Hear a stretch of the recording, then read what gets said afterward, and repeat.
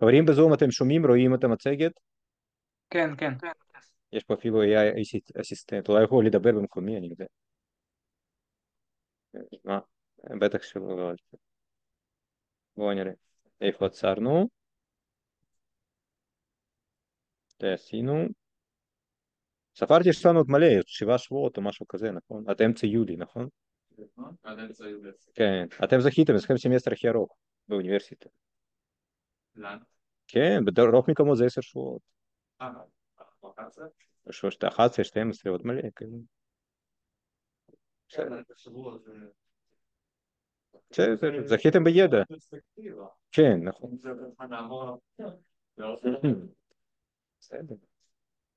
אוקיי, בסדר. אנחנו בשבוע ארבע, בשיעור ארבע היום. הנה, שיעור, לא שיעור שלוש. הנה, אוקיי. יש זום, יש הקלטה, נראה לי יש הכל, בואי נעשה ככה. אולי יותר טוב. אוקיי, מוכנים? טוב, אז פעם הבאה אנחנו נפגשים כאן. כן, תמיד כאן, רק צריך להגיד חנה שאנחנו כאן. כן. גם תרגול, כן. אם בטלוויזיה רואים את זה הרבה יותר טוב. נכון? כן, אוקיי. חברים, קודם כל תרגיל פרקטי. אנחנו נרצה ללמוד למיין, סורט, אז אנחנו ניקח אלגוריתם לא יעיל, מלמדים אותו בדרך כלל באוניברסיטה כדי להראות משהו מעניין, אבל מבחינה פרקטית הוא לא שימושי. בסדר? אוקיי, אז מה המטרה שלנו עכשיו? אנחנו נרצה לפתח אלגוריתם, בואו נזיז את זה פה, שיודע למיין מספרים. מה הכוונה למיין מספרים? אתם נותנים input לפונקציית מיון f, נגיד אתם נותנים לה וקטור 10, 1 ו-2, ונגיד היא ממיינת בסדר עולה, אז האוטפוט יהיה 1, 2 ו-10. זה נקרא למיין, נכון? יפה. עכשיו, איך אפשר למיין? ולמה זה חשוב? מסתבר שקודם כל באמת למיין זה חשוב, ובמדעי מחשב, במתמטיקה, בקורס אלגוריתמים, יש כמה שיעורים שהם לומדים רק למיין. הם לומדים אלגוריתמים שונים למיון. ומסתבר למיין זה חשוב, חשוב להסתדר לפי ציונים, לפי משכורת, לפי משקל, לפי סיכון, כל, לפי כל מיני דברים. עכשיו תסתכלו מה מדענים יודעים, מה מלמדים במדעי מחשב. שבממוצע, לא בממוצע, באופן כללי, כדי למיין צריך זמן סדר גודל n לוג n, כאשר n זה מספר איברים במערך, בראשון. n לוג n. ואפילו יש הוכחה סדר גודל. כלומר זה בערך. אה. אה, כן, יש איזו הגדרה מתמטית אבל לא נקרא, אורדר, כאילו, סדר גודל, אוקיי? ואז יש גם משפט מתמטי שאומר, באופן כללי אי אפשר יותר טוב מזה, אי אפשר פחות זמן. ולמשל, יש מה שנקרא מיון מהיר, אנחנו לא נלמד, אבל זה- בזה משתמשים, מיון מהיר, זה גם שם, שהוא ממיין בממוצע לפי סיבוכיות הסוג. זה בסדר? עכשיו גם מוכיחים במדעי מחשב שאם אתם לוקחים קלט לא כלשהו, אלא קלט מסוים עם כל מיני תכונות, לא ניכנס לאיזה תכונות, אז אפשר לשפר ולמיין בפחות זמן. סדר גודל של n זה יותר טוב, זה יותר קטן מ-n לוג n, נכון? אוקיי. אבל זה כבר תחת הנחות מסוימות.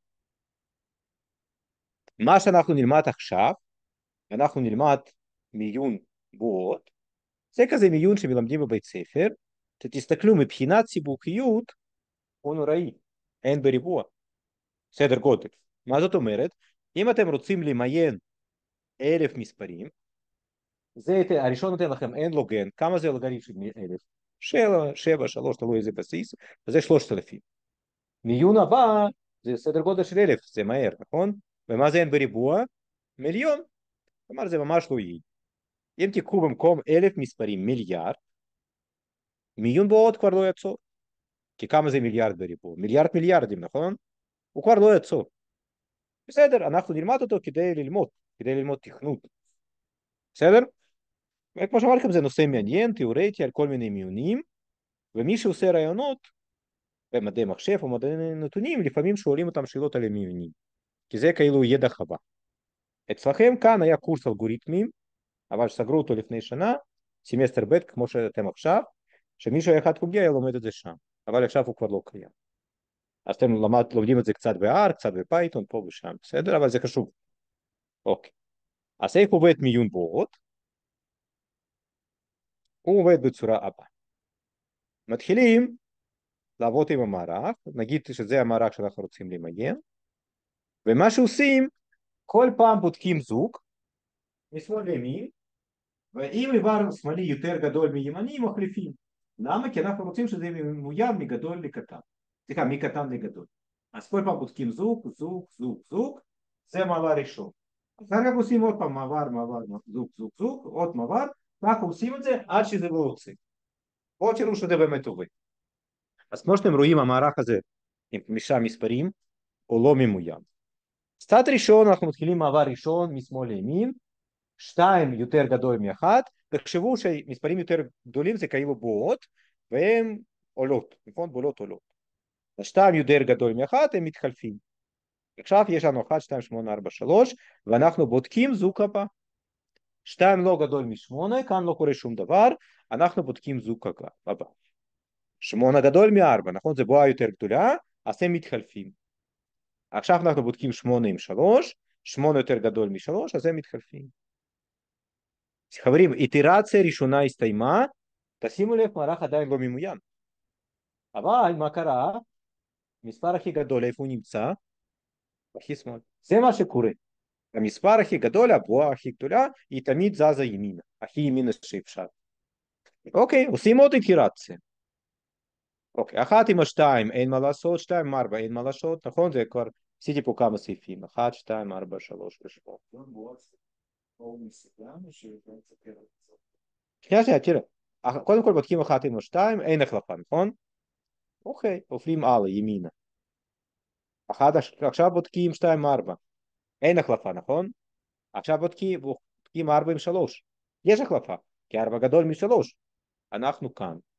עכשיו בודקים 4 עם 8, אין החלפה. מה קיבלנו? בעצם קיבלנו מערך ממוין. אבל עושים עוד פעם בדיקה, אז בודקים 1 עם 2, 2 עם 3, 3, 4, לא מחליפים שום דבר. בקיצור, כאן כבר קיבלנו מערך ממוין. ככה זה עובד. הבנתם? אני חושב יש אפילו ריקוד כזה שאנשים צילמו, בואו נראה. יש ריקודים עם כל המיונים שאנשים ככה רוקדים כאילו זה מיון. לא ראיתם בטח, נכון? בואו נעשה pause. Quick sort dance, תראו, זה מישהו שכנראה שהיה להם משעמם, quick sort dance, כתבתי עם טעות אבל הנה. כן, לא, בסדר, אני אגיד לך, מווידאו של מדעי מחשב ומתמטיקה אתה לא תרוויח, זה מאוד קשה, כלומר אפשר, כן, אבל הנה מיון בועות. תראו, אז כאילו אתם רואים זה מערך לא ממוין, ועכשיו הם מתחילים, אבל זה, שנייה, זה לא בולד. לא, זה קוויק סורט, אנחנו לא רוצים קוויק סורט, אה, צריך בבל סורט. קוויק סורט זה משהו אחר, בבל סורט. כן, כן, כן, כן, כן, זה אין בריבוע, הנה מיון, תראו. כן. אולי נעשה פאוזה, כי... חברים בזום, שומעים אותנו? כן. אתם ראיתם את הריקוד או שלא? כן, כן, ראיתי. אה, ראיתם? יפה. טוב. ועכשיו אתם רואים שקפים, נכון? כן. אה, יפה, מצוין. זהו, אז זה מיון. חברים, למה מסבירים אותו בבית ספר? כי הוא פשוט, נכון? בודקים זוג, עוד זוג, עוד זוג, להסביר את זה קל. מבחינת יעילות, גרוע. בוא נגיד ככה. לא, כבר עשיתי, עשיתי, כן, בוא נבדוק. כן, מבחינת יעילות הוא גרוע, אבל תשימו לב, אם אתם רוצים למיין 20 מספרים, אפשר גם זה. כי זה 400, למחשב זה חצי שנייה. אבל אם זה יהיה מיליון מספרים או מיליארד, אתם לא תרצו את זה, להשתמש במיליון בועות. יפה, מה אנחנו רוצים? אנחנו רוצים לממש אותו. ואנחנו נממש אותו באופן נאיבי, נשפר אותו קצת, נשפר אותו עוד קצת, אבל בכל מקרה זה יישאר אין בריבוע. כלומר, עם כל השיפורים זה לא יהיה משהו סופר טוב. בסדר? אז תראו קודם כל זה הקוד הנאיבי, הפשוט, שמממשת מיון בורות, תראו, תסתכלו קודם כל כמה דקות, אתם רואים שיש כאן לולאה בתוך לולאה, נכון?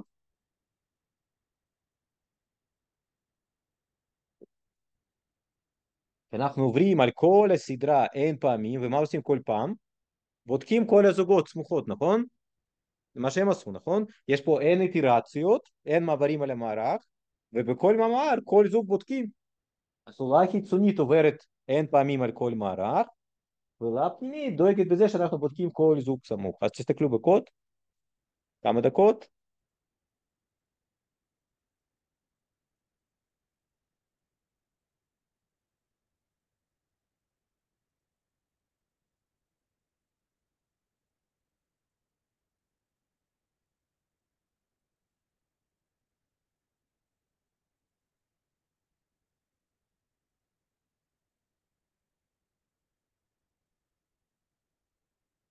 משהו ברור? תסתכלו.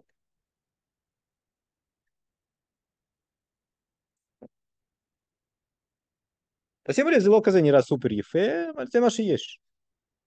אוקיי. קודם כל, יש פה כמה דברים. דבר ראשון, יש מקום אחד, למשל כאן, ב-R משהו פחות טוב מפייתון. אם אתם זוכרים, אם אתם רוצים בפייתון להחליף X עם Y, בפייתון אפשר לעשות x,y שווה y,x, לא יודע אם עשיתם ככה, אבל ככה מחליפים. אז x יהיה שווה y, y יהיה שווה x. ב-r אין קיצור דרך, אתם צריכים שלוש שורות. זה לא סופר משנה, אבל זה פחות יפה. מה עושים כאן? אז בעצם מה ששמתי מסגרת אדומה, מחליפים בין x ל-y. כן. כאילו כתוב במקרה הגרוע ביותר נבצע. בסדר, זה עוד לא הגענו לשם. בואו בואו נגיע לשם ותשם, בסדר? עוד לא הגענו לשם. אז תסתכלו איך מחליפים בין x ל-y, כן? איך עושים את ה... מגדירים משתנה עזר טמפורלי, TMP, שומרים בו ערך קודם, j מינוס 1 זה ערך קודם, ואז בערך קודם רושמים ערך הבא, ובערך הבא רושמים את הטמפורלי. קודם כל אתם רואים שזה יותר מסובך ממה שזה היה בפייתון. אוקיי, זה משהו קטן, רק שתדעו, כן? אין פה מה לחסוך. עכשיו בואו נעבור על כל אלגוריתם ותשאל את זה שוב, בסדר? אוקיי. עכשיו בואו נראה איך האלגוריתם עובד. אוקיי, אז פונקציה sort bubble מקבלת וקטור. מערך, בשבילנו זה מערך מקבלת וקטור. כאן אנחנו שומרים מה? גודל של מערך. length של מערך. יפה. עכשיו אנחנו עוברים על המערך, על כל j i מ-2 עד n, בעצם אנחנו עושים n מינוס 1 מעברים. מ-2 עד n, נכון? אוקיי. בכל מעבר J רץ מ-2 עד N. ועכשיו מה אנחנו עושים?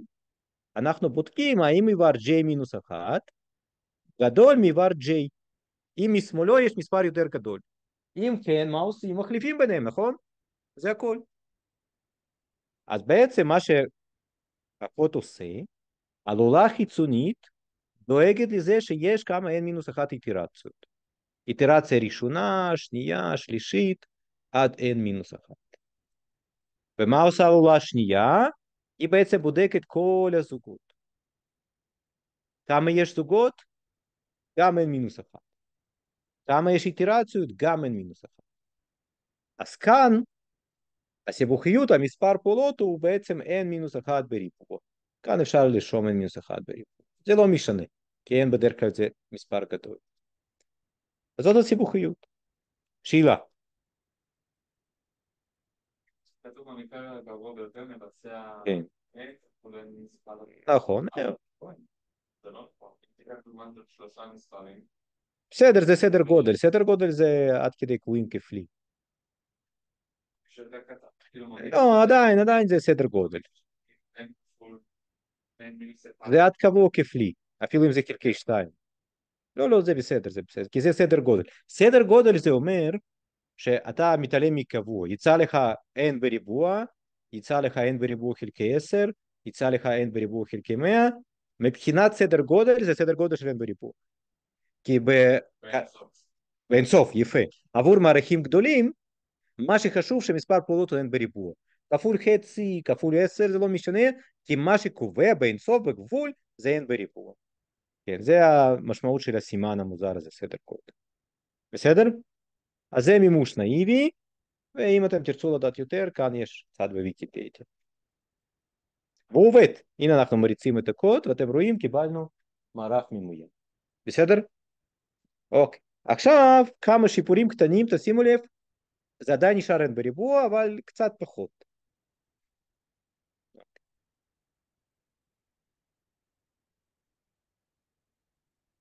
אוקיי, שיפור שני. שיפור שני אומר שאין טעם לעשות כל הבדיקות מאיבר שני עד הסוף. למה? כי אחרי איטרציה ראשונה בסוף יהיה מספר הכי גדול. לא צריך לגעת בו, נכון? אחרי איטרציה שנייה, האיבר שני מהסוף יהיה הכי גדול. אז אין טעם תמיד ללכת עד הסוף, כי לאט לאט בסוף יהיו מספרים הכי גדולים, בסדר נכון, לא צריך לדאוג. לכן כאן משפרים ממש בקצרה, בסוף ש-J הולך מ-2 עד N, הוא הולך עד N מינוס I פלוס 2, כלומר איפה שיש איברים שכבר סידרנו בהם. אוקיי, זה קצת חוסך, ממש קצת. אוקיי, ואפשר לשפר את האלגוריתם הזה עוד קצת. מה ראינו בריקוד? שאם באיזשהו שלב הם עברו ולא הייתה אף החלפה, זה אומר שכבר ממוין אפשר לעצור. זה לפעמים עוזר לעצור בהתח... באמצע או בהתחלה, נכון? אז איך יודעים את זה? איך יודעים לדעת שמשהו לא קורה? אז יש פה טריק שמשתמשים בו גם באופן כללי. מגדירים משתנה flag, דגל שווה לאפס, זה משתנה עזר. אם הייתה לפחות החלפה אחת, שמים אותו באחת. flag שווה אחת, אחת זה אומר שהייתה החלפה. ואז אחרי איטרציה, כשעברנו על כל המערב, בודקים. אם פלאג שווה אפס, מה זה אומר? לא הייתה אף החלפה, אפשר לעצור. זה יכול קצת לחסוך. בקיצור, ברמת עיקרון, עם שתי שיפורים, נגיד האלגוריתם יכול לעבוד פי שלוש יותר מהר. אבל עדיין בגבול סיבוכיות זמן עבודה ריבועית ולא משתמשים בו, כי יש אין לו גן, ואפילו לפעמים יש או של n, ליניארי. בסדר? אוקיי, זה ככה תרגיל פרקטי שכדאי להכיר. ועל המיונים שונים, אם מתישהו תלמדו לבד או באיזשהו קורס, אתם יכולים גם לצפות בריקודים, לכל המיונים יש ריקודים לקוויקסורט, לכל מיני דברים. לא. נכון, נכון, זה לפעמים בטעות, אולי אני שמתי, זה אני כנראה כן. לפעמים שאני עייף או חושב על משהו, כן, כן, כן. שמע, אין הרבה הבדל, אבל ההמלצה היא תמיד לעשות אותו סגנון, קטן ומינוס, כן. יש הבדל באיזשהו מקומות שאנחנו לא נגיע. אבל עדיף, נגיד, אם אתה עושה רעיון עבודה, תעשה הכל נקי. אם אתה, עדיף לעשות הכל נקי, אבל זה לא אמור להשפיע בדברים קטנים. אבל יש איזשהו הבדל מתישהו. יכול להיות שאין הבדל כאן, אבל אם אתה תעשה משהו יותר מורכב, יהיה הבדל. אז כן. כן אפשר. בסדר חברים? יפה. זה הנושא הראשון. נושא הבא שהתחלנו, בואו נמשיך איתו. שיעור קודם, רשימות.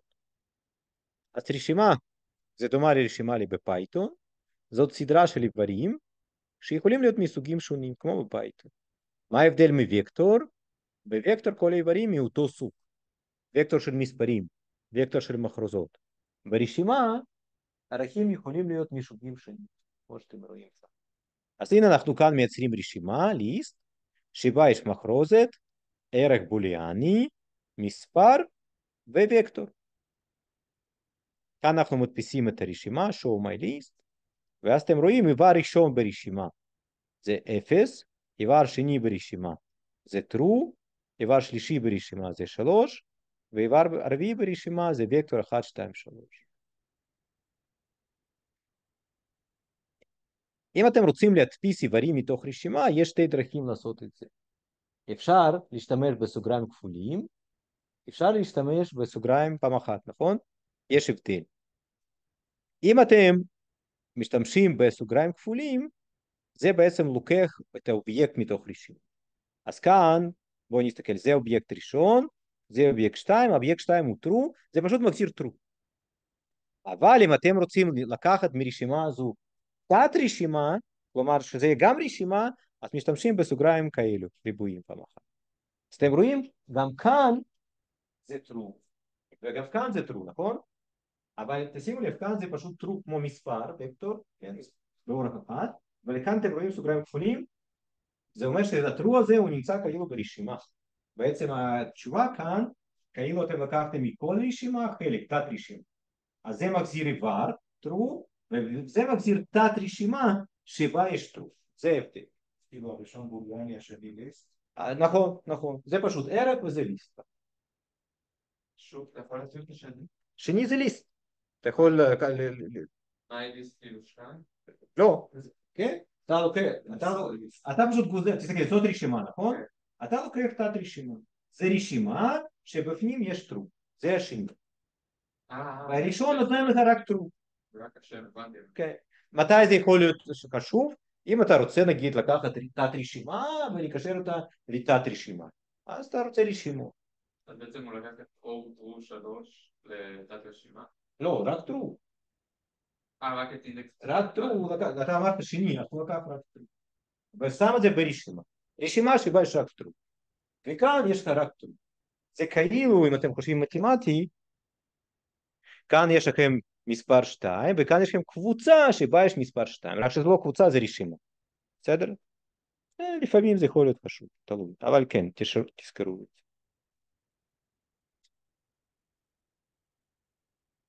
אוקיי. אז הנה, עוד פעם, אתם רואים סוגריים מרובעים פעם אחת. זה, כמו שאמרנו, זה תת רשימה.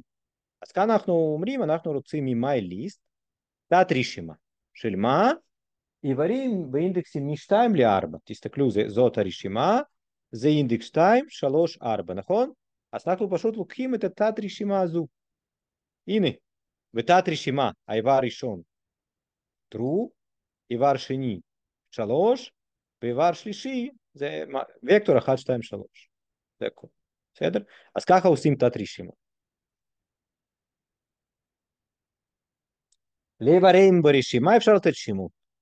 הנה, אנחנו נקרא לאובייקט ראשון ניתן לו שם first, second ו-third, ואלו האיברים. כאילו לא? לא נחשב מילון, אבל זה דומה למילון, כן. אתה בעצם, זה רשימה, ויש לה סיבוכיות שלה. כן. אוקיי, ולמה זה נוח? קודם כל זה נוח כי אתם יכולים לגשת לערכים לפי שמות. כן? כי לפעמים זה יותר קל ממה שלזכור איפה נמצא את הפרמטר שאתה צריך.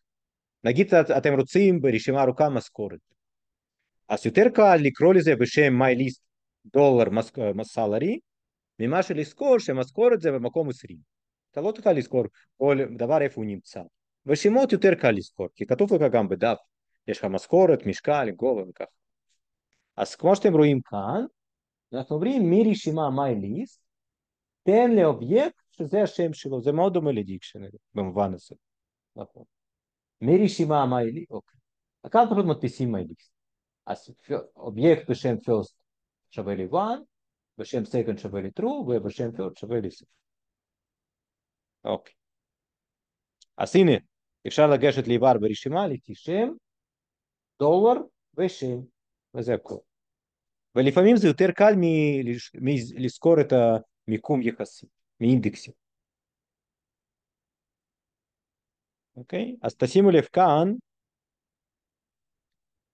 אם אתם רוצים לדעת איזה שמות יש לאיברים ברשימה, יש פונקציה names, ראינו אותה גם לגבי מטריצות וויקטורים, אז היא מחזירה לנו וקטור של שמות.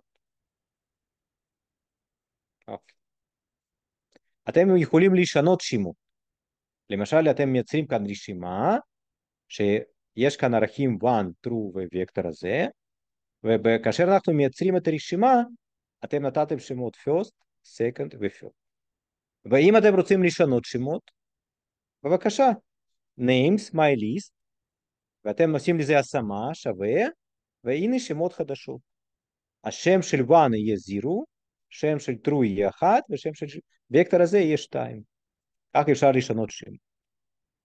תשימו לב, אפשר לגשת לאיברים וקטור לפי שם, או בעזרת אופרטור דולר, רשימה, דולר ושם, או לפי סוגריים מרובעים, רשימה, סוגריים מרובעים פעמיים, ושם.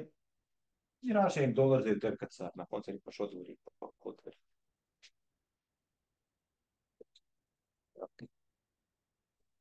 עוד כמה דוגמאות לרשימות ושימוש באינדקסים. אז אנחנו מייצרים כאן רשימה, שמה יש בה? איזה אובייקטים? מטריצה, יכול להיות מטריצה, נכון? וקטור ומחרוזת. כן, למה לא? מה האורך של רשימה? זה מספר אובייקטים הגדולים, כן. יש בה שלושה אובייקטים, matrix, מטריצה, וקטור ומחרוזת, וכאן אנחנו מבקשים עם סוגריים מרובעים כפולים אובייקט. אומרים, תן לנו מרשימה הזו אובייקט ראשון, ומה זה אובייקט ראשון? מטריצה, נכון? אז הנה הוא נותן לנו מטריצה. ועכשיו תשימו לב, אתם יכולים להגיד, ממטריצה זו, תן לי איבר בשורה הראשונה, עמודה שנייה. בבקשה, ממטריצה 1-4, איבר שנמצא בשורה הראשונה, עמודה שנייה, זה מספר 3. למה פשוט תעשו את זה, כן? זה שנייה אחת. מה זה המטריצה הזו? 1, 2, 3, 4, נכון? זאת המטריצה. 1, 2, 3, 4. ואנחנו רוצים איבר שנמצא בשורה הראשונה, עמודה 2. אז זה יצא 3. בסדר? אז תשימו לב כאן עוד פעם. אנחנו אומרים שמרשימה M1 תן לנו איבר ראשון, שזה מטריצה, נכון? וממטריצה תן לנו איבר שנמצא בשורה אחת ועמודה 2, זה 3. ברור? כאלה, לא. אז הוא היה נותן לנו רשימה. ברשימה אין כאלו אינדקסים כפולים. כלומר, הוא היה נותן לך רשימה, אם אתה תעשה ml אחת, אחת, הוא החזיר לך רשימה שבה יש מטריצה. אותו דבר. הוא היה כותב עם זה, כן, אבל זה רשימה. וכאן זה מטריצה, ואם זה מטריצה, אתה יכול לגשת לאיבר מטריצה לפי שורה בעמודה. השאלה מה אתה רוצה לקבל, מטריצה או רשימה עם מטריצה? אתה רוצה לקבל מטריקס בתוך רשימה, או אתה יכול, רוצה לקבל מטריקס, מה אתה רוצה? אם אתה עובד עם מטריצות, אתה רוצה להקפיל אותה, אתה רוצה שורה ראשונה. אם אתה בונה אולי רשימה חדשה, אתה אולי תשתמש ככה. שאלה מה אתה רוצה לעשות עם זה. אבל אם אתה עובד עם מטריצה, אתה תרצה ככה, נכון? בלי רשימה. בסדר חברים? אוקיי.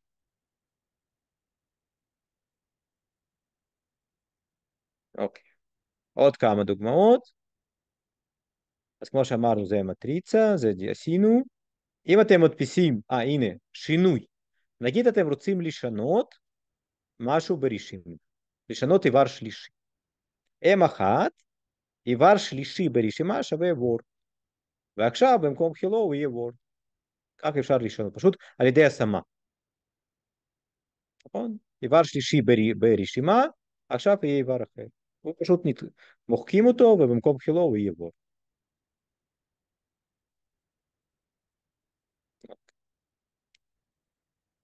עכשיו מה יש כאן? תסתכלו. אתם אומרים מרשימה עם אחת, תן לי, נכון? תן לי איבר שנמצא במקום שתיים, ואז מה שנמצא במקום שלוש. זאת הרשימה. איזה אובייקט נמצא במקום שתיים? הוקטור הזה, נכון? וקטור בוליאני. ואיבר שלישי בו, אחד, זה true, נכון? אז הנה, ML ממטריצה ראשונה תן לנו איבר במקום שתיים, ומתוכו איבר במקום שלוש. אז זה נותן לנו את הזה. והנה, אתם אומרים ממטריצה עם אחת, תני לי תת רשימה, זה בדיוק מה שאתה שאלת, מה ההבדל גם, תסתכל, תני לי תת רשימה ממקום 2 למקום 3. אז הנה הוא מחזיר לנו תת רשימה. זה מה שהיה נמצא במקום 2 וזה 3. אתם רואים? תשימו לב, זה הבדל שבהתחלה מבלבל. זאת רשימת מקורית. אם אתם רוצים לקחת ממנה תת רשימה, רק חלק הזה, מכל רשימה רק את תת רשימה, כותבים את זה בסוגריים מרובים פעם אחת. אז זה לוקח רק איבר שני ושלישי. אם אתם רוצים לקחת איבר שני, ואיבר שני לקחת איבר שלישי, כותבים את זה בסוגריים מרובים. בהתחלה זה מבלבל, אבל תעבדו עם זה קצת ותתרגלים, בסדר? לא הייתי אומר שזה כתיב סופר מובן, אבל ככה משתמשים פה. אנחנו פחות נשתמש ב list, אבל אין מה לעשות, ברשימות יש הרבה פונקציות בפייתון, פונקציות מורכבות, שמחזירות list, מחזירות רשימות. למה? כי בתוך list אתה יכול לתפוס הרבה מידע.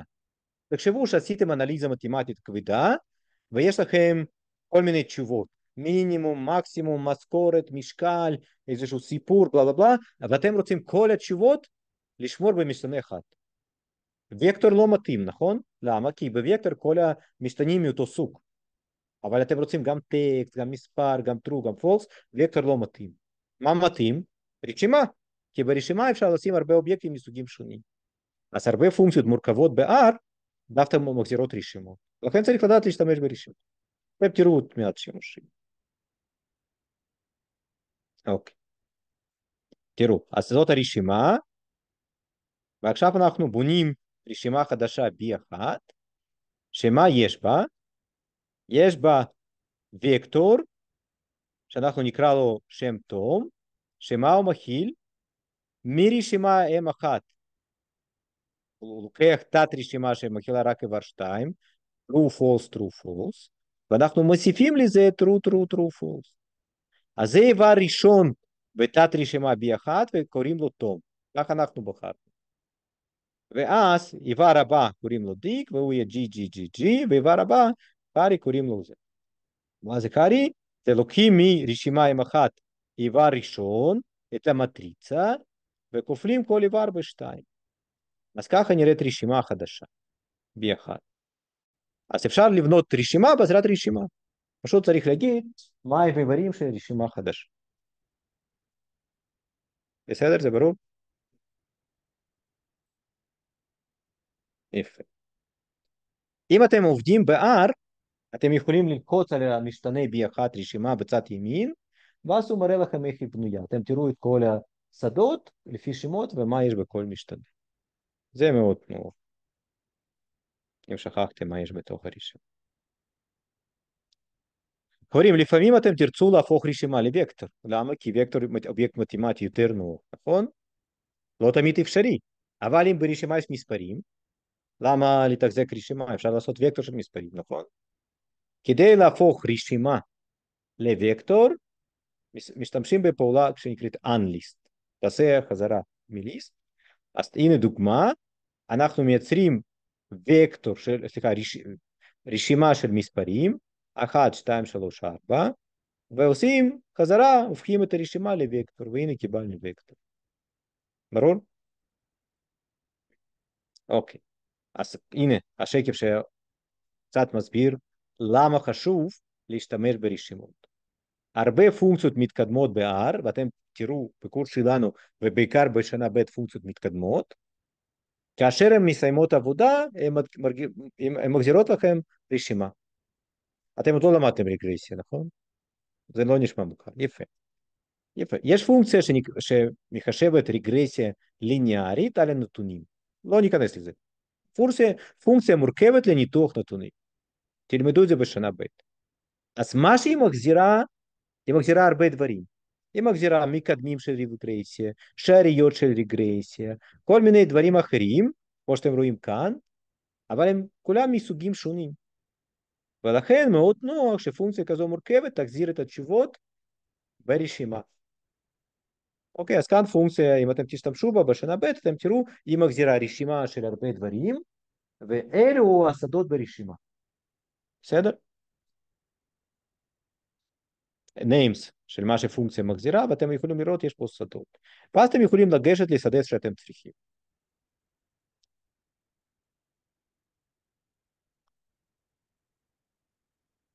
הנה תרגיל. בואו נעשה כמה תרגילים. כתבו פונקציה פשוטה שמקבלת וקטור מספרים, מספרים, כן? ומחזירה רשימה, אז יש שם בפנים איפשהו ליסט, נכון? שבה יש שתי איברים.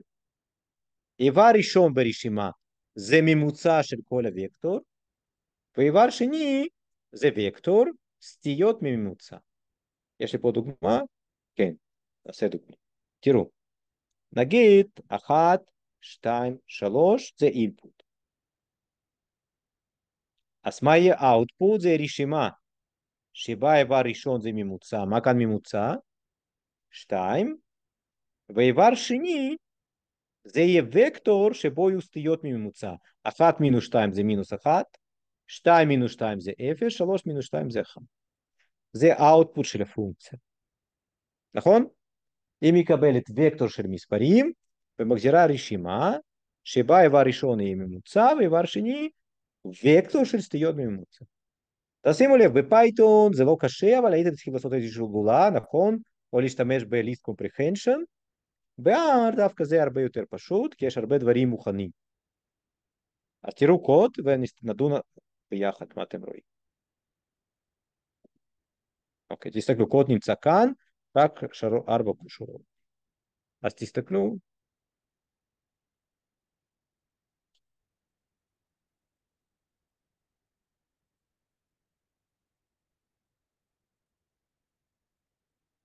נראה ברור? מה עושים, מה עושים בשורה הראשונה? מה זה עושה? נכון, מגדירים פונקציה שנקראת def.apps, ככה אוהבים ב-R לקרוא לפונקציה, שמקבלת משתנה בשם vec, שזה וקטור. זה בעצם שם של הפונקציה, הגדרה של הפונקציה. ואז בסוגריים מרובעים מגדירים את הפונקציה. שורה 2-3 מחשבים מה שצריך לחשב, נכון? m זה ממוצע של הוקטור, שורה אחת.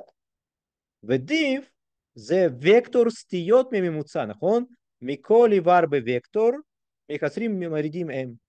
וב-R זה, בפייתון זה היה צריך לטפל בזה, אבל כאן החיסור הוא עבור איבר, עבור כל איבר. נכון. ומה עושים בשורה return? רשימה שבה יש ממוצע ווקטור סטיות. תשימו לב, אפשר היה להסתפק בעצם רק בשורה אחת, נכון? אפשר לעשות ככה return, list, לא, זה לא טוב כי אנחנו צריכים m, זה פחות טוב, בסדר. clear all, ככה זה טוב. ולמטה אתם יכולים לראות דוגמת הרצה לקרוא. הוא קיבל וקטור 072 ומחזיר ממוצע 3 ווקטור הסטיות ממוצע. כל זה, כמו שאמרתי לכם, חברים צריכים להתרגל. לכן יש לכם תרגולים ותרגלי בית.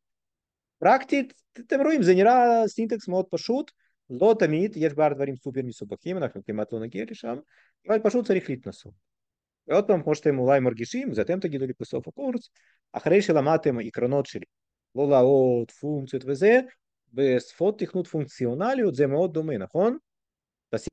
שימו לב, יש עוד פרדיגמה, כמו שסיפרתי לכם, תכנות מונחה עצמים, שם זה קצת אחרת. אבל כמו תכנות פונקציונלי, רוב שפות תכנות מאוד דומות, נכון? רק סינטקס קצת שונה. כן, אוהבים ככה, כן. עם הנקודה. כן, כן, כן. מקובל. אפשר גם להשתמש באותיות גדולות, קטנות. כן.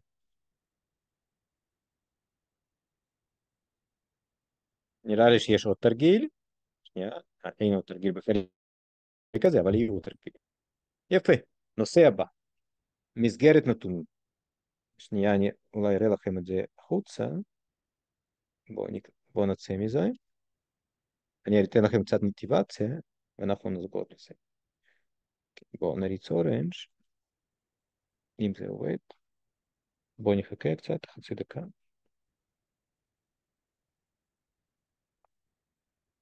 זה סופר חשוב, הנושא הזה, הכל חשוב. כי פה אתם תשתמשו בלמידה מכונה, ב statistic learning בשנה ב'. זה מדעי נתונים מתחילים. אז הקורס שלנו לא מדעי נתונים, אנחנו, אני אראה לכם אחת הכלים שתשתמשו בשנה הבאה במדעי נתונים. אז זה חשוב מאוד. רק שנייה, אני רציתי להראות לכם משהו אמיתי, ואז נחזור לזה. אם זה יעלה, זה לוקח חצי דקה בדרך כלל.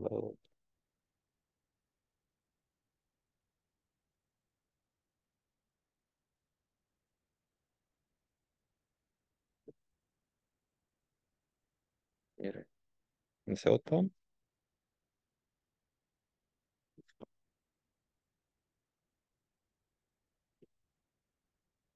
הנה עולה.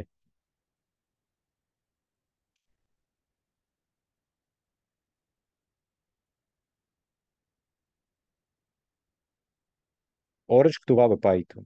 מי שהתקין Anaconda בקורס קודם, זה מביא, מביא גם Orange. אוקיי. אז אני רוצה להראות לכם איך עובד מדע נתונים, כי זה קשור למה שאנחנו עושים ב-R. חברים בזום, אתם רואים עכשיו תוכנה Orange, נכון? לא. מה אתה רואה עכשיו PDF? המצגת. אה, מצגת שנייה אחת. אוקיי, share screen. נעשה את זה ככה. עכשיו אתה רואה תוכנה, נכון? כזה ציור כזה, מעגל. יפה. תסתכלו. מדעני נתונים עובדים נתונים, נכון? זה אתם תלמדו בשנה ב', אז אני רוצה להראות לכם דוגמה מנתונים, בואו ניקח נתונים על מחלות לב, אני אראה לכם עוד מעט. אוקיי, apply. אז לא כל הנתונים, אבל רוב הנתונים הם נראים כמו טבלה. עוד מעט אתם תראו את הטבלה. אוקיי. בואו, תסתכלו. אתם רואים, נכון? בטלוויזיה וזה. רואים, כאשר עובדים עם נתונים, עושים אנליזה לנתונים, בינה מלאכותית, Machine Learning, Statistical Learning, אז רוב הנתונים נראים ככה. מה זה ככה? טבלה. קצת מזכיר טבלת אקסל, נכון? אבל יש פה כמה חוקים. שורות זה תצפיות, למשל פרמטרים של פציינט או משהו. שורות זה תצפיות, ובעמודות יש מה? יש איזשהו פרמטר שאתם חוקרים אותו. גיל, מין, סוג של כאב חזה, לחץ דם, רמת כולסטרול וכאלו דברים. בסדר? ככה נראים נתונים טיפוסיים במדעי נתונים. אתם רואים טבלה, נכון? כמו טבלת אקסל. רק שתזכרו, התצפיות לפי שורות ועמודות זה מאפיינים. מה עוד אפשר להגיד כאן? כל עמודה יש לה משתנים מאותו סוג, הגיוני, נכון? כי אם זה עמודה של גיל, אז זה תמיד מספר, נכון? אם זה עמודה של מין, אז זה למשל טקסט או משנה קטגוריאלי, נכון? אנחנו נקרא לזה פקטור, ו-R קוראים לזה פקטור. יש פה שתי קטגוריות, נכון? גבר אישה. אם זה סוג של כאב חזה, זה גם קטגוריה. אז ככה נראה נתונים במדע, בעבודה של מדע נתונים. וזה כמו טבלת אקסל, נכון? הבנתם את זה? למבנה כזה קוראים לי R, באנגלית data frame, זה השם, data frame, ובעברית מסגרת נתונים. וזה אנחנו הולכים ללמוד, בסדר? ואתם תראו בשנה ב' שזה מאוד חשוב, כי כך עובדים נתונים, פותחים אותם ועושים כל מיני אנליזות. גרפים, ציורים, בינה מלאכותית, כל דבר מתחיל מ data, וזה ה data, אחת הדוגמאות ל data, בסדר? אז חלק הזה ב-R נקרא מסגרת נתונים. ב Python אנחנו לא למדנו, אבל יש ספרייה שנקראת פנדה, לא פנדה חיה, פנדה פנדה, כן? אז פנדה עוזרת לכם לעבוד עם זה. אבל אנחנו לא הגענו לרמה הזו ב Python, נגמר זמן, בסמסטר קצר. אוקיי, הבנתם מה זה מסגרת נתונים? אוקיי, עכשיו אנחנו נראה איך עובדים עם זה ב... זה הכל. אוקיי, מי שבזום, אתה רואה עכשיו שקפים, נכון? כן. יפה, יפה. אוקיי. צריך תמיד פידבק, כי אם מישהו אף אחד לא נמצא, לא יודעים בכלל יש הקלטה או אין הקלטה, טוב שמישהו נמצא. אוקיי, בסדר. אז מסגרת נתונים, חלק אחד, אחר כך חלק שתיים, לאט לאט אנחנו נסבור ידע, אבל תשימו לב, אתם תגידו בסדר, זה טכני, טכני, טכני, למה זה חשוב, למה פה, למה שם, צודקים, אבל למה זה חשוב, צריך לחכות לשנה ב', בסדר? כלומר, אני אנסה לתת לכם דוגמאות, אבל אתם עדיין לא מדעני נתונים, לא למדתם כלים, לכן עדיין זה יהיה כזה היכרות ראשונה, בסדר? אל תחכו לראות כאן דוגמאות מעניינות. עם זה לסמסטר ב', אה, לשנה הבאה, בסדר? אוקיי, אז מסגרת נתונים. אז מסגרת נתונים זה פורמט שימושי דומה לדאטה טבלאי, להצגה טבלאית של נתונים, זה מזכיר טבלת אקסל, בפורמט זה כמו שאמרנו, כל עמודה מכילה מידע על איזשהו פרמטר, פיצ'ר, נכון? משתנה, וכל שורה זה תצפית. אתם יכולתם להגיד, אבל למה שורה ועמודה ככה? אולי הפוך. אולי כל עמודה זה תצפית וכל שורה זה מאפיין? לא, זה סטנדרט, ככה מקובל. אנשים עשו הסכמה שככה יראו נתונים. כל תצפית שורה וכל עמודה זה איזשהו פרמטר. כמו שאתם יכולים לראות, נתונים בעמודות שונות יכולים להיות מסוגים שונים. למשל, בעמודה הראשונה יש לנו מספרים, ובעמודה השנייה אנחנו לא נקרא לזה מחזורו, מחרוזות, אנחנו נקרא לזה אחר כך פקטורים, קטגוריות. כי זה בעצם קטגוריות, נכון? מה זה מחוז? זה מספר, אחת מתוך, נגיד עשר קטגוריות, נכון? אז אנחנו נקרא לזה ב-R קוראים לזה פקטורים, כאן יש עמודה של אוכלוסייה, כל הנתונים מספרים, וכאן יש שם של עיר נגיד, גם זה קטגוריאלי, פקטורים. אז זה, זאת מסגרת נתונים. מה אנחנו רוצים ללמוד עכשיו? איך אתם טוענים מסגרת נתונים? ואיך מתוך מסגרת נתונים אתם בוחרים שורות מסוימות, עמודות מסוימות, כמו שלמדנו גם על רשימות. בסדר? אוקיי, חברים, לצערי היה לי קובץ הזה עשיתי דאטה, זה סתם קובץ עשוי עם נתונים, לא מצאתי אותו. אז כאילו יש לנו נתונים, אבל אין לי כל הקובץ, לא יודע, כנראה נמחק איפשהו, אבל זה לא קריטי. בסדר? בדרך כלל אני שם לכם דאטה, אבל לזה אין לי דאטה. לא יודע מאיפה זה היה, כנראה משהו שנמחק. אוקיי. אז נגיד יש לנו נתונים בקובץ city data, הנתונים שמורים, נמצאים בצורה הבאה, אתם רואים זה data frame. אז יש לנו שורות, שכל שורה זה תצפית מתאימה לעיר, נכון?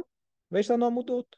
העמודה הראשונה זה שם של עיר, העמודה השנייה זה גודל אוכלוסייה, שכונה ואיזשהו סוג של אריה.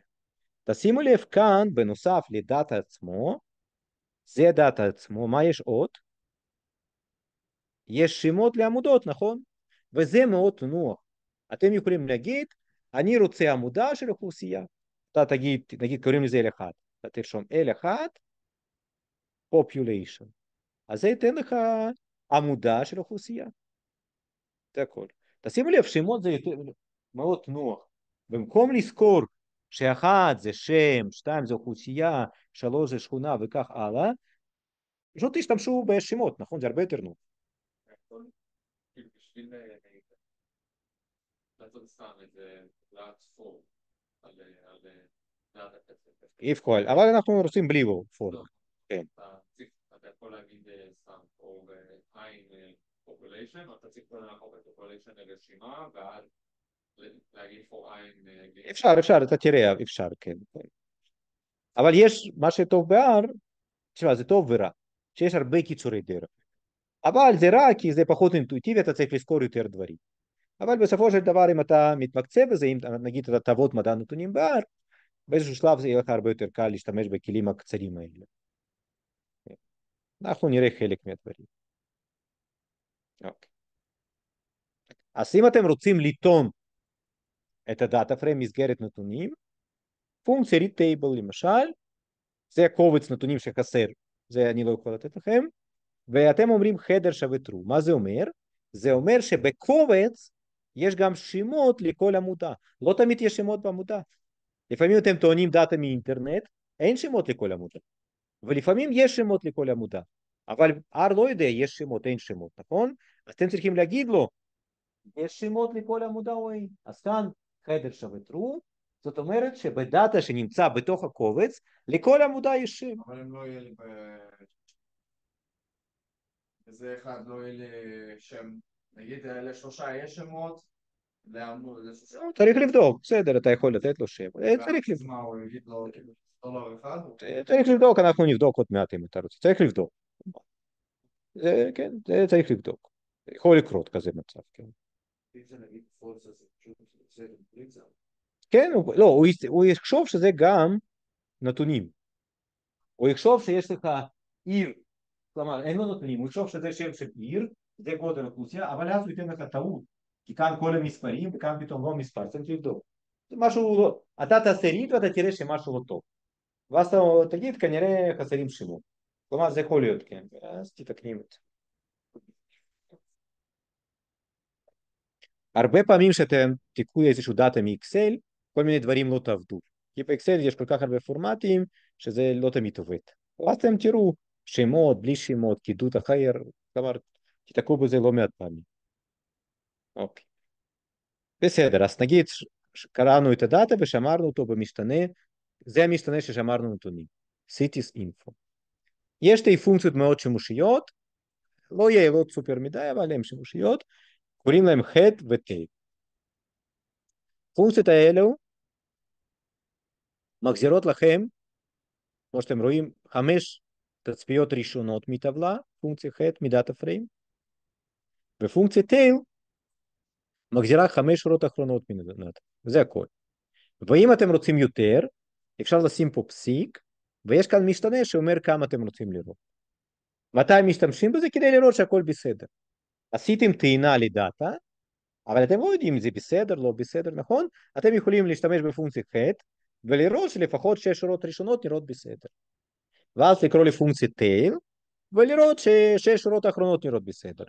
ש... אה, כן, לפחות בדיקה ראשונה עשית. נכון. ואם אתה רואה שבחטא או בטל משהו התפקשש, כנראה זה לא בסדר. כנראה צריך או חידוד לשנות, או יש שמות, או משהו אחר. כן. אתה יכול אה, להס- להפעיל אה, פונקס, כאילו, פעולה על הנתונים האלה? כן, כן, כן, הרבה פעולות. לא, שתסדר את זה נגיד לפי, אז זה לפעמים, לפי, כן, כן, כן, כן, זה כן. כן, כן, אבל זה לא היום, זה לא היום. אבל כן, כן, כן, אפשר. אוקיי, אז תסתכלו. מה שעושים כאן, מייצרים את המסגרת נתונים בצורה ידנית. בדרך כלל לא תעשו את זה כי מסגרות נתונים זה נתונים גדולים. זה 100 שורות, 1,000 שורות, זה לא עושים ידנית. זה קיים באיזשהו קובץ. אבל כאן אנחנו מייצרים את המסגרת נתונים בצורה ידנית. אז יש לנו עמודה פרסון, וזה ערכים פיטר, זה שמות. יש לנו עמודה גיל, וזה זה וקטור של מספרים. יש עמודה שזה פקטור, פקטור זה קטגוריות, עוד מעט אנחנו נלמד את זה, שבעצם מה שיש כאן זה מין, מייל פימל, נכון. אז הנה הטבלה שהתקבלה, תסתכלו. זאת המסגרת נתונים שהצרנו. עמודה ראשונה שמות, עמודה שנייה גילאים, ועמודה שלישית פקטור קטגוריות של מין. זה הדאטה פריים. ובדרך כלל אתם לא תעשו, לא תייצרו את הנתונים בצורה ידנית, כי הם כבר קיימים. נכון? תשימו לב, כאשר אתם מייצרים ככה את הנתונים, אם אתם רוצים לראות אותם, אתם יכולים לראות מה יש בקובץ, תראו איך R מפרש את הסוגים של הנתונים. שמות. אז זה קרקטר, זה מכרזות, נכון? זה תווים. יפה. גילאים. אוטומטי הבין שזה מספרים. מצוין. אחרון, כמו שאמרתי, אוקיי, לא אוטומטי, אנחנו אמר, אמרנו לו שזה פקטור, והוא הבין שזה פקטור שיש פה שתי רמות, גבר ואישה, הפוך, גבר ואישה. היום כבר אומרים יש הרבה יותר רמות, אבל בסופו של דבר, הנה פקטור שיש בו שתי רמות. בסדר? אז תסתכלו עכשיו על הפקטור כמשתנה קטגוריאלי, שיש מספר קטגוריות נתון מראש, כמו למשל גבר אישה, עבר מבחן, לא עבר מבחן, בריא, לא בריא, או כל מיני דברים אחרים, כמו דרגות בצבא. דרגות בצבא זה פקטור, נכון? צבע עיניים זה פקטור, כחול, עיניים, כאילו, כמה יש צבעים בעיניים? יש? אוקיי. אם חסר נגיד, אה, או אם חסר, אתה צריך להוסיף. ערך? או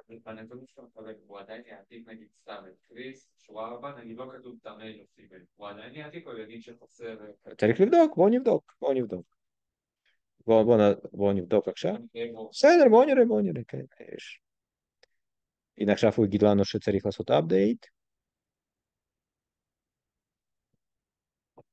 כן, את זה אנחנו צריכים לצאת.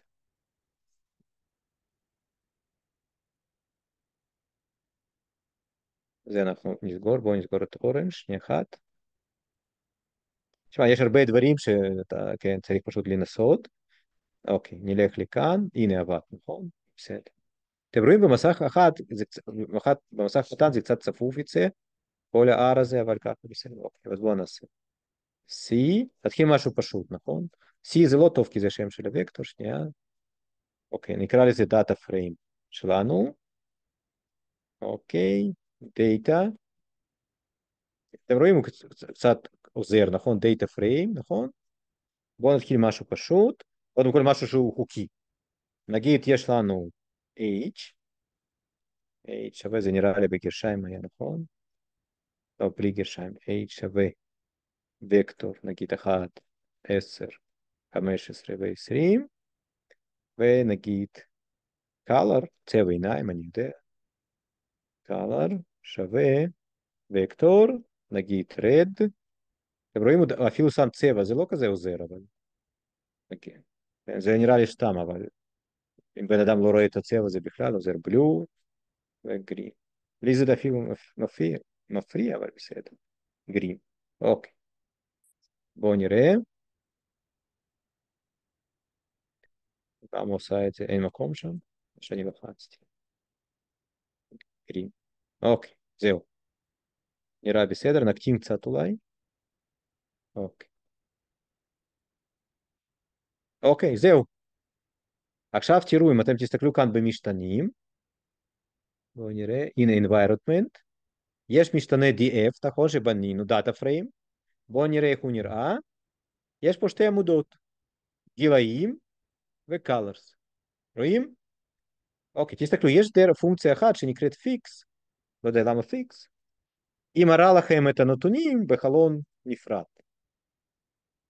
בואו נראה, היא עובדת פה. היא אמורה לפתוח חלון נפרד עם הנתונים. שנייה. עוד פעם, הנה.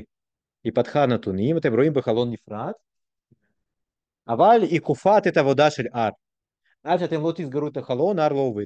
כלומר, זו פונקציה לא סופר שימושית, אבל היא מראה לכם את הדאטה. אתם רואים זה? זה המסגרת נתונים. תשימו לב, החלון הזה תמיד נש... הוא נשאר שם איפשהו באחור, צריך לסגור אותו. אתם רואים? זה הנתונים. אוקיי, בואו נזכור. אתה שאלת, נכון, מה יקרה אם שוכחים משהו? נגיד בלי 20. ככה? בואו נראה. כנראה טעות, אבל בואו נראה. אתה רואה טעות. אומר שיש לך, ב... יש לך בעמודה הראשונה שתי ערכים, בעמודה השנייה שלוש, לא טוב. אז הוא יגיד לך את זה, הוא לא מסכים. כי הוא לא יודע מה לרשום שם. בסדר? זה ברור? יכולת להגיד, אני לא יודע מה הגיל של בן אדם הזה, אז איך ערך חסר. כן, NA, סליחה, ככה, NA זה ערך חסר. ככה זה יהיה בסדר. אני אגיד סתם, אני מנסה לחשוב מאידך מקבלים דאטה ממש גדולה, כאילו. כמו שהראית עליו. ובאיזה שורה מסוימת חסר. אה, לא, אז זה יהיה קשור, חסר זה לא, זה לא, זה יהיה קשור, רשום שם NA. לא, לא, חסר. כאילו. אז הוא ירשום NA. כאשר אה, הוא... כשהוא קורא הוא כותב NA. כן. זה הסכמה של R. כן, כן, כן. או לפעמים אני חושב יש לי פונקציה פרמטר, אתה אומר מה מסמן ערך חסר. כי יש תוכנות שערך חסר זה משהו שונה. נגיד באורנג' ערך חסר זה סימן שאלה. אצלו הוא ישים לך ערך חסר NA. אבל תשמע, זה קורה המון. אתה קורא נתונים מאינטרנט, אמיתיים, פותח אותם ומשהו לא עובד. אתה צריך להבין מה לא עובד, להתקן, להתקן עד שזה לא עד שזה כן יעבוד. זה כן, זה קורה המון. זה נקרא הכנת הדת. אוקיי. עכשיו, מה אפשר לעשות עם מסגרת נתונים? אפשר לקחת חלקים שלה, נכון? למשל, דרך היא פשוטה, זאת המסגרת נתונים שלנו. אתם יכולים להגיד, אני רוצה שורה שנייה, עמודה שנייה. ככה רושמים. בהכרח הדיפולט שלו הוא בונה את זה כמטריצה? זה כאילו, זה לא מטריצה, כאילו מטריצה, כן. מטריצה, כל האיברים מאותו סוג. זה כאילו מטריצה. הוא תומך בפעולות של המטריצה, כן. כאילו מטריצה, כן. אבל זה לא סוג של המטריצה, סוג שלו זה דאטה פריים. תראה כאן, אם אתה תסתכל, הנה בוא נראה פה. כלומר זה דאטה פריים, כן, אולי פה, לא, זה מה שפתחנו, כאן. כן. ובקיצור זה לא מטריצה, מטריצה. כן, כן, כן, כן. אוקיי. עוד דוגמה, איך אפשר לקחת חלק מדאטה פריים? למשל בצורה כזו של אינדקסים.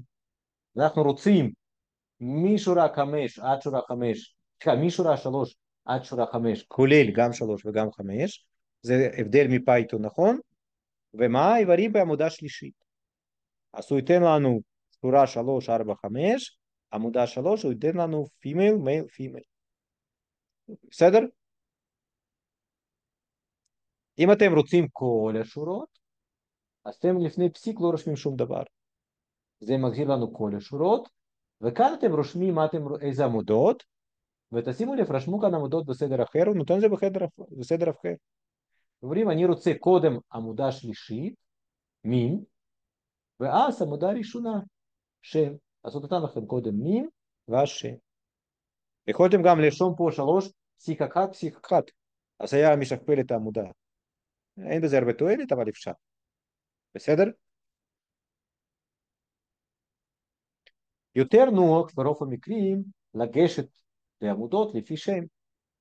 תן לי מדאטה פריים עמודה עם שם, שם, כן, סליחה, עם גיל, עם גילאים. אז הנה, my data, my data, סימן דולר וגילאים. אז הוא נותן לכם כל הגילאים. ואם אתם רוצים גיל השני של בן אדם השני, בבקשה, ממסגרת נתונים MyData, עמודה H, ערך שני 42. בסדר? אם אתם רוצים לדעת כמה שורות יש וכמה עמודות, זה בעצם כמו במטריצה. נכון? אין ראו אומר כמה יש שורות, אין קולום כמה עמודות, ודים מחזירה לכם וקטור כמה שורות וכמה מימדים, נכון, dimension. יפה. טוב, נעשה עכשיו הפסקה. עד ארבע. בסדר, מישהו נשאר כאן? לפחות מישהו אחד מתישהו, כן. יש מישהו? או שכולם הולכים, הולכים. או שהם מתחלפים. מה אתה אומר? נהיה פה באזור זה. בסדר, טוב. לא, לפעמים גונבים כאן, אבל בסדר. אז מי שבזום שיסתכל. כן, יש מצלמה, אבל אם הוא ייקח את ה... אז לא נדע. אני שם על מיוט. אה, תזכיר לנו לבטל.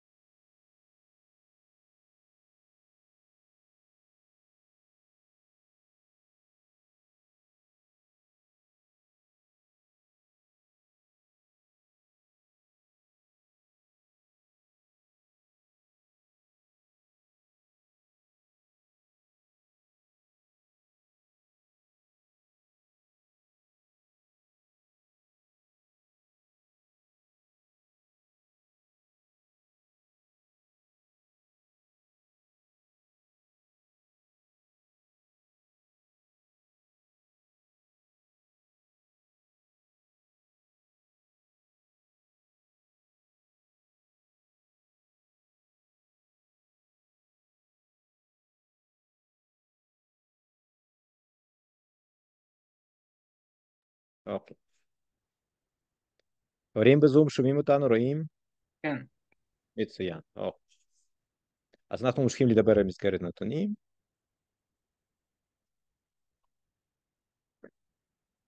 אה, זהו. מה אתה אומר? אה, כן?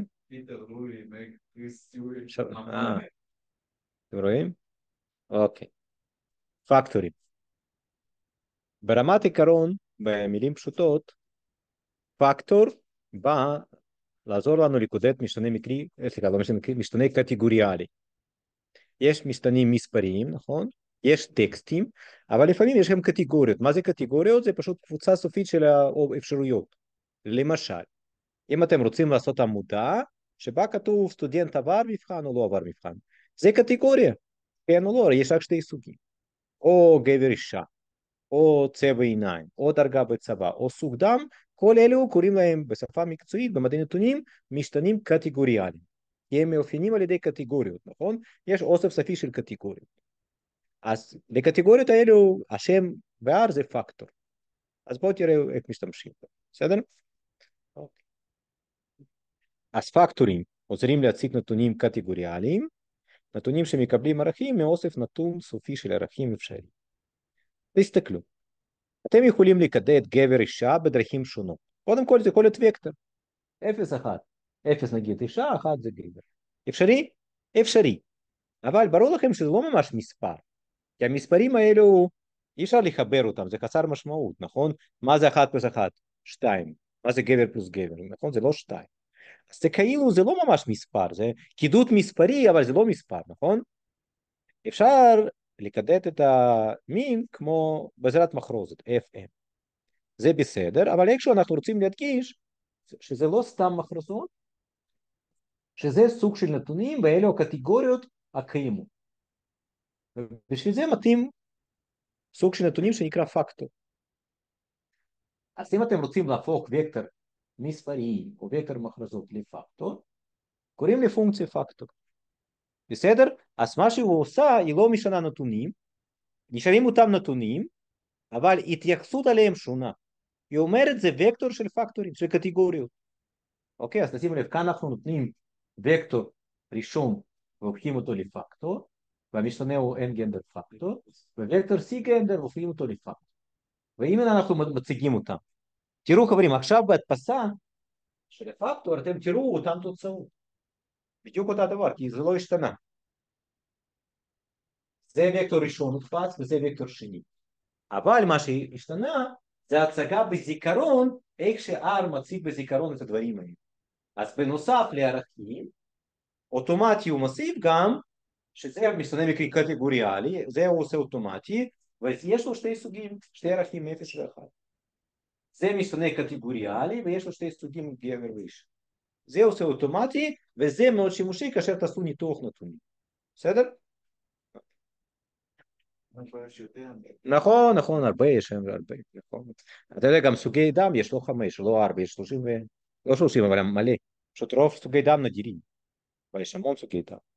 אפילו בפייסבוק וזה שואלים אותך, אתה יכול לעשות פילמי, מייל או אדס. כן, יש הרבה, נכון, נכון. תשמע, מה זה? היום אתה גם לא אמא ואבא, הורה אחד והורה שתיים, אבל כן. כן, דברים קצת משתנו. נכון. אבל מה אפשר לעשות עם פקטורים למשל? אתם יכולים לספור כמה יש מכל סוג. יש כאן עמודה של מין, אתם רוצים לדעת כמה יש גברים וכמה נשים. מאוד נוח. אתם קוראים לפונקציה table, נותנים לה את המשתנה שהוא פקטור והוא עושה ספירה. יש ארבע female ושלוש male. בסדר? זה פשוט פונקציה table. אם אתם רוצים לדעת איזה ערכים פקטור יכול לקבל, פונקציה levels רמות, נותנים לו את הפקטור, הוא אומר לכם, יש לכם F ו-F. זה הכל. אתם יכולים לייצר פקטורים, למשל אינטרוולים. תסתכלו, יש לכם נגיד גילאים, ואתם רוצים שכל, לא, לא יודע, משכורת, בין 0 ל-10 זה יהיה משכורת קטנה, בין 10 ל-30 משכורת גבוהה, ובין 30 לאינסוף משכורת מאוד גבוהה. אתם רוצים לעשות פקטורים, נכון? יש לכם תחום, יש לכם ערכים מספריים, ואתם רוצים לחלק את זה לשלוש שכבות, לשכבות קטגוריות. את מ-0 עד 10 זה תחום של המשכורות קטנות נגיד, בין 10 ל-30 גדול, ובין 30 לאינסוף ענק. איך הופכים ערכים מספריים לפקטורים? בעזרת פונקציה k.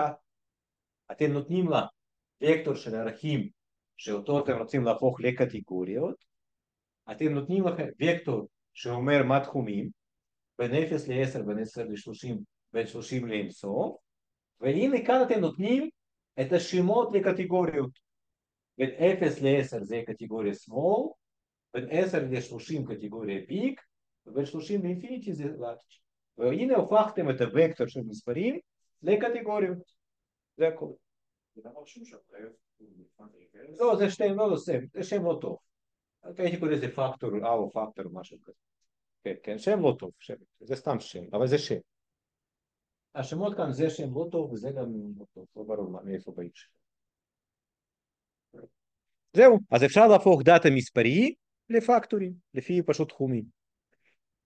למשל אתה יכול לקחת נגיד משקל, אתה יכול להגיד כל מישהו משקל עד 60 זה small, בין 60 ל-100 זה large, בין 100 ל-200 large מאוד, כן, משהו כזה. ואז יהיו לך שלוש קטגוריות. אותו דבר ציונים, אפשר להגיד בין 0 ל-50 נכשל, 50-60 פחות בינוני מינוס, 60-70 בינוני פלוס, 70 עד 100 טוב או משהו כזה. והנה יש לך קטגוריה. אז פונקציה cut, שם לא סופר מרמז, מאפשרת בין היתר גם לייצר משתנה קטגוריאלי פקטור מוויקטורי. בסדר? והנה levels, אתם רואים? מה אומר לכם מה הם כל הסוגים או כל הערכים שפקטור יכול לקבל. אוקיי. אז כמו שאמרתי לכם, אתם תראו את זה במדעי נתונים, במסגרות נתונים בדאטה פריים, המשתנים פקטורים הם מאוד מאוד שימושיים. יש הרבה נתונים קטגוריאליים, אני סגרתי את אורנג'? לא סגרתי, הנה תראו כאן. זה הנתונים של מחלות לב, שנייה אני אראה לכם אותם. לא זה רציתי, רציתי משהו אחר.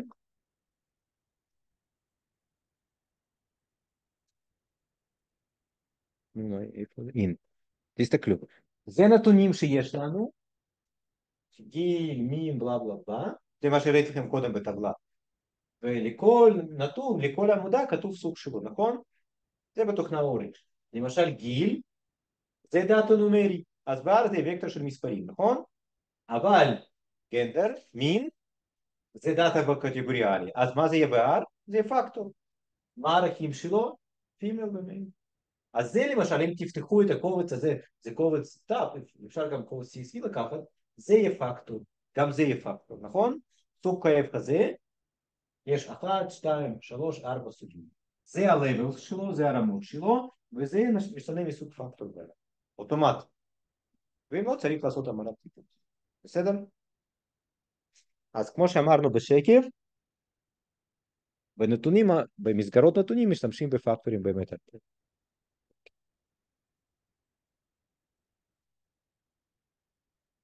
עמודות עם מידע טקסטואלי ב-R נהפכות לפקטור בצורה אוטומטית.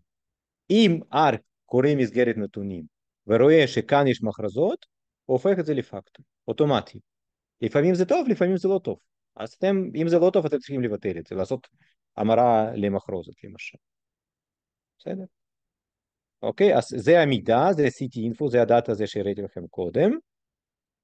ואם אתם רוצים אפשר להדפיס למשל district, אז הנה cities info district, תראו מה הוא הדפיס לנו, את השכונות, והוא כתב שיש לזה רמות, שזה פקטור, ואלה הרמות, שהפקטור יכול לקבל.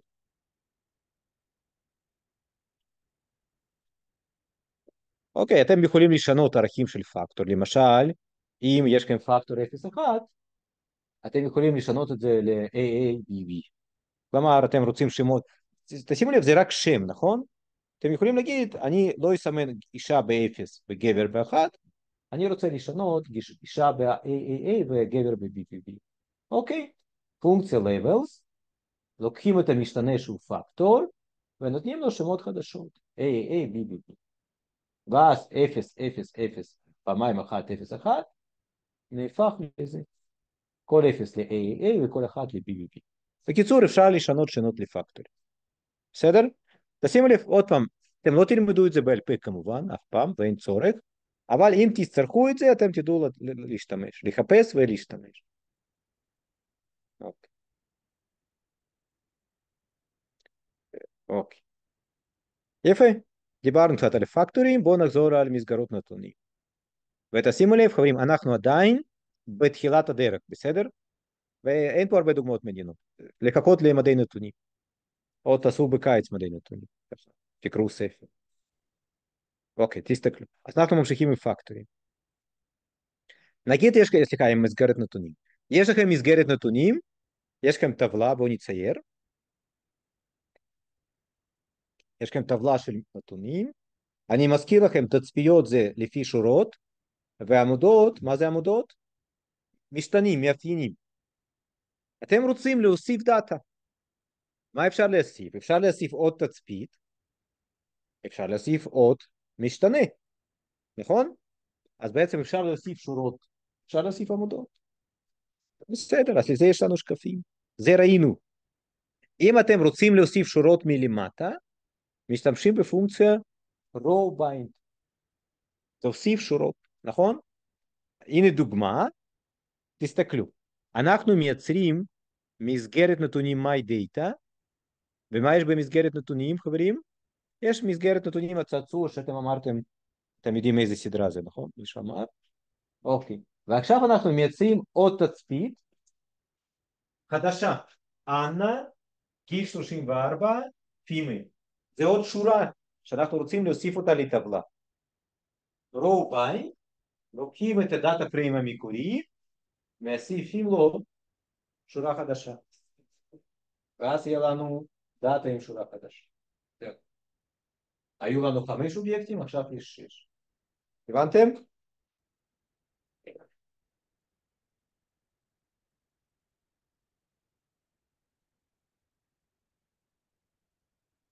עמודות. אפשר להוסיף לדאטה עמודות חדשות, פיצ'רים חדשים. אוקיי, נגיד יש לכם דאטה פריים ואתם רוצים להוסיף לו עוד עמודה. אז הנה אנחנו בונים עמודה, למשל של מכרזות, 10101, הופכים אותה לפקטור ומוסיפים עמודה חדשה לדאטה. הוא מוסיף לו עוד עמודה. אחת המקרים השימושים שאתם מוסיפים עמודות, אתם רוצים להוסיף איזשהו פיצ'ר, איזושהי עמודה, נגיד הנה עמודה חדשה, שהיא פונקציה של עמודה קיימת. למשל, יש לכם כאן משקל, weight, וגובה, כן, length. אז בהינתן עמודה, משקל וגובה, אפשר לחשב BMI, ולכל בן אדם להוסיף BMI, נכון? יש איזה נוסחה. אז הנה אפשר להוסיף עוד עמודה. מה שאתם רואים כאן בדוגמה, בשקף, בדאטה שלנו יש עמודה month, סליחה, יש עמודה age, גיל, ואתם רוצים להוסיף גיל של בן אדם בחודשים, עוד עמודה ששם יהיה גיל בחודשים. זה יחסית קל, נכון? אם אתם יודעים גיל של אדם, מה זה גיל שלו בחודשים? זה גיל של אדם כפול 12, נכון? אז אנחנו פשוט עושים, רושמים שבדאטה שלנו, my data, יש עמודה חדשה בשם age month, גיל בחודשים, ומה יהיה ערך שלו? גיל בשנים כפול 12. אז זה מוסיף עמודה חדשה, שהיא פונקציה של עמודה קיימת. זה הכל. אז כאן פשוט מוסיפים את העמודה בעזרת נוסחה. ואם אתם תסתכלו, הנה התאספה עמודה, ואם אתם תראו, תסתכלו, זה עמודה של גילאים בשנים, וזאת עמודה חדשה שהוספנו. כאן יש גילאים בחודשים. כל גיל בשנים כפול 12. בסדר? זה ברור?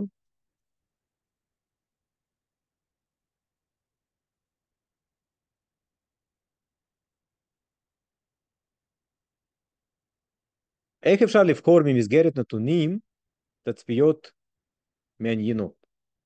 למשל, אתם רוצים לבחור כל הגברים. תנאי לוגי, נכון? אתם רוצים מכל הנתונים לבחור גברים. תסתכלו, my data זה שם של מסגרת נתונים, ובסוגריים מרובעים אתם רושמים כאן איזה שורות אתם רוצים לבחור. איזה שורות אתם רוצים לבחור? כאלו ששדה מין שווה למייל. איזה עמודות? זה אחרי פסיק, כל העמודות. נכון? אחרי פסיק יש, אין שום דבר, אז זה אומר כל עמודה. אז הפקודה הזו בוחרת לנו דאטה כל התצפיות של, של הגברים, וזאת התוצאה. אתם רואים? ככה בחרתם רק גברים. מה, אוקיי? אז זה התנאי הלוגי. מתוך מסגרת נתונים מאי דאטה, מתוך שדה עמודה מין, בוחרים רק גברים.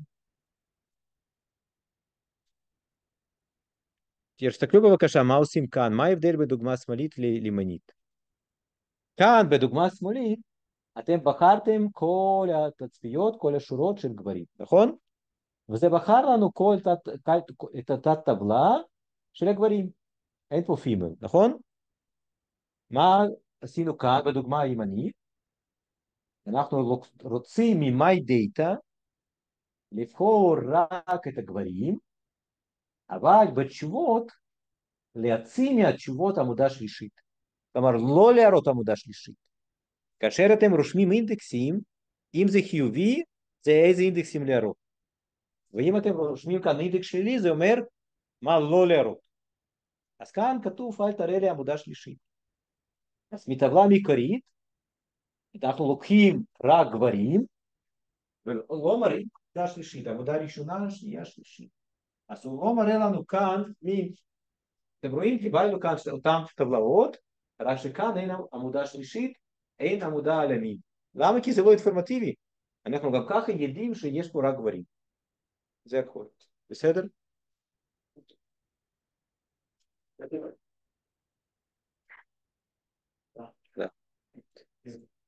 אוקיי. חברים, תסתכלו מה קורה כאן.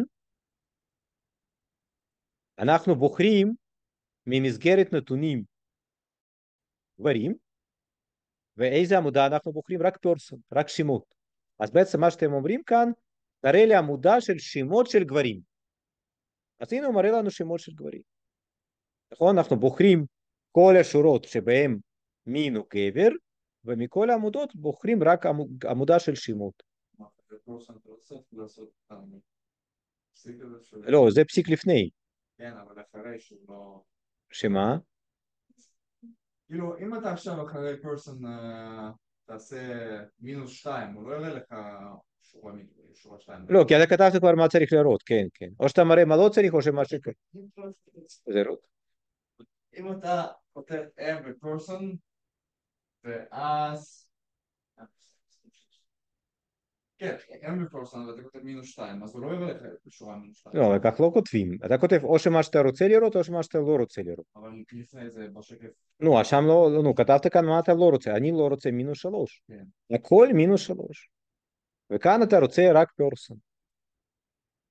אתה לא כותב גם פלוס וגם מינוס, אתה כותב מה לראות ומה לא לראות. זה עמודה או שורה? עמודה, עמודה. אה, עמודה. עמודה, תראה. זה עמודה ראשונה, שנייה, שלישית. אתה רואה אין פה עמודה. אה, תסתכל, לפני פסיק זה שורה. קיבל אותי 1, 2, 4 הזה. איזה אחת, אה, לא, לא, לא, לא. אה, הבנתי, לא, לא, לא, לא. תסתכל, אתה, כן, כן, הבנתי. אחת, זה במקרה. אתה רואה, זה אפילו מודגש כאן. כן, כן, זה לא זה, זה לא זה. שלוש כי הייתה אישה. עמודה שלישית זו הייתה אישה, בגלל זה הוא לא מראה אותה. עם מה רוצה? איזה שורה? בדרך כלל שורה את לא בוחרת לפי מספר. את בוחרת שורה לפי תנאי. אז את כותבת מה את רוצה לבחור. אם אתה ממש לא רוצה לקשר אותו בשורה באמת. את מי? לא, אתה סתם את אה, קריס גריפין. לא. את יכולה לרשום שם לא קריס. זה, אתה יכול לרשום שם לא שווה לקריס. אבל אתה לא יכול לכתוב שאל תראה לשורה מסוימת. בסדר, אבל עושים דברים יותר מעניינים. בסדר, שאתה יכול לרשום. עוד פעם, אתה צריך איכשהו לקדט את זה. באמת, אני בגלל המינוס שלוש הזה חשבתי שזה... לא, לא, זה אתה רואה גם בירוק זה מודגש גם כאן וגם כאן, אבל בסדר, בסדר, כן. תשים לב, לפני שורה, סליחה, לפני פסיק, זה מדבר על שורות, ואחרי פסיק מדבר על העמודות. אז מינוס שלוש מתייחס לעמודות. לפני פסיק זה שורות, ואחרי פסיק זה עמודות. אתה בוחר כל השורות שעבורם גיל מייל. מין מייל, סליחה. אבל זה... זה עמודה שקיימת. לא, זה שורה, אתה בוחר כל השורות שעבורם משתנה מין שווה למין. אתה בוחר כל השורות, הוא מציג לך שכל השורות שמקיימים את התנאי הזה. זה הדעת הנקי, לא, זה לא דעת הנקי. שנייה, זה בשקף קודם. שנייה אחת. בואו נחזור. זה לא כאן, זה רחוק. כן, זה היה רחוק. בקיצור, מכל הדאטה, זה הכל הדאטה. אתה בוחר כל השורות שעבורם גיל הוא, סליחה, מין מהם. אתה בוחר אחת, שתיים, שורה ראשונה, שנייה, אתה לא בוחר שורה שלישית, אתה בוחר שורה רביעית ולא בוחר שורה חמישית. במקרה זה... במקרה זה, כן, כן. נכון. עדיף כאן במקום מינוס שלוש לעשות אולי מינוס אחת. כן. צודק. אוקיי. נכון. מה קורה כאן? אנחנו בוחרים כל הרשימות של הגברים, נכון?